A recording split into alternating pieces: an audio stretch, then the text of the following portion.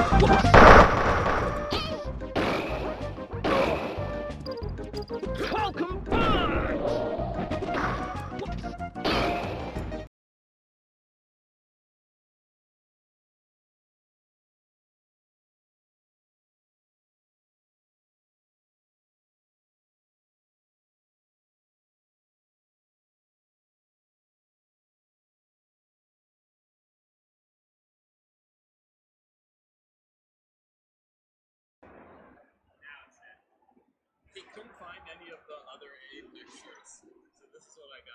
Oh, because you never got your black one yesterday. Yeah, Did yeah. you? Did you buy one?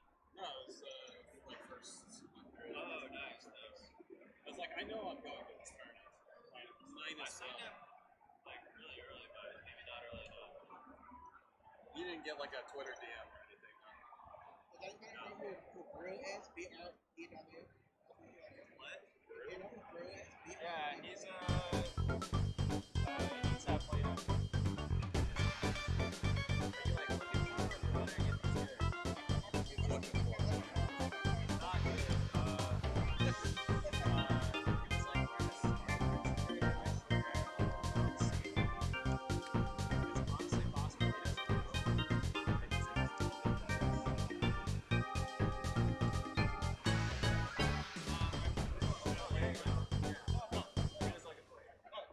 for all!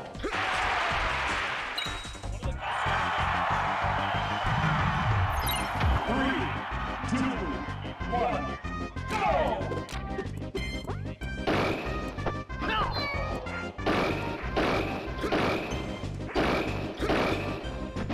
On the right. Oh, okay, okay.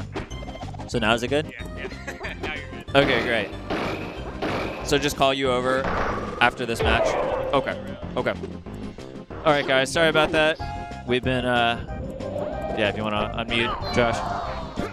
Hello, hello. Had All right. technical difficulties. Yeah, sorry, we've just been getting the stream going, and these players are just getting going. EPAD taking game one, no counter pick from Henny. I, I think we've seen him play Pikachu a little bit in the past, but just sticking with Falcon here. Nice. I love starting the combo with that down air. Oh, Oh, he was a little delayed. misses. I think he just was delayed on the input. He could have had that. But uh, he's looking great to start this one. Maybe not so great on that edge guard. Yeah, Kirby's fair is so disjointed. Wow, and interesting. He was able to sneak through those back airs to grab. Uh, that. I love that recovery from EPAD. The way he does the fastball and then instant jump fair takes Falcon by surprise. Falcon has a ton of just disjoint, but his moves really aren't that fast, so his edge guards can be kind of committal.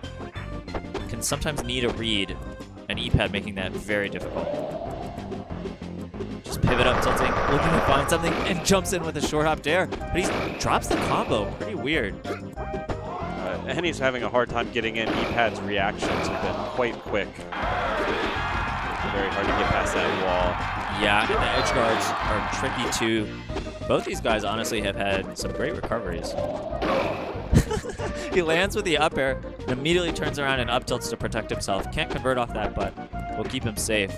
And EPAD just looking for basically any move. Henny finds it though, gets the grab, and that'll Oh, finally kill. yeah, Great run in and just grab him.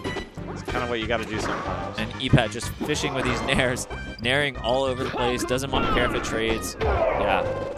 And that's it. EPAD up two stocks to one in game two. Yeah, I think uh, Henny has, you know, Falcon in this matchup, he's got to be committal. The problem is every time he goes in, uh, E-Pad's already. Look at that DI. Got right on the top flat. Oh, yeah, that downer's going to get you killed every time. Great edge guarding from E-Pad. Uh, bit of a slow start, but he turned that one up pretty well. Yeah, EPAD showing a good understanding of that matchup and some great recoveries.